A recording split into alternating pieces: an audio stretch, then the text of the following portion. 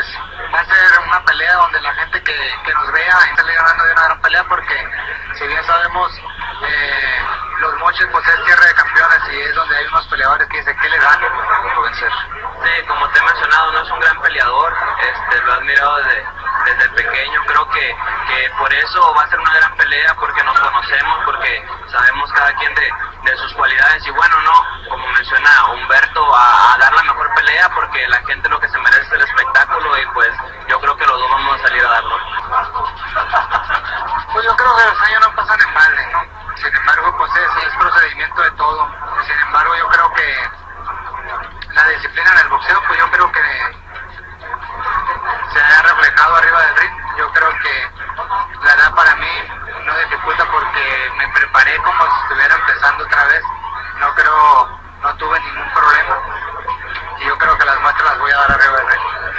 Claro que sí, fíjate que estamos en, en, en, unas cosas la verdad a veces es muy bueno, pero a veces es contraproducente porque pues había escasez de agua, hoy cayó mucho y queremos decirle a la gente que se sume, que, que, se sume, que apoye a toda la gente que, que la verdad lo necesitamos como mexicanos. Yo creo que pues nosotros ya estamos ahí, ya estamos poniendo un granito de arena, ya hablamos con el gobernador y la verdad pues en lo que en lo que respecta a Humberto Soto, pues lo que yo puedo hacer lo hago con gusto.